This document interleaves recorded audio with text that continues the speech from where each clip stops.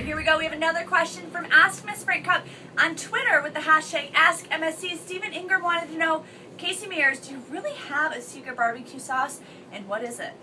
Well, let's wait till the commercial quits running. Tell you the truth. my, my secret barbecue sauce comes in a bottle. So, and it varies from store to store that I go to.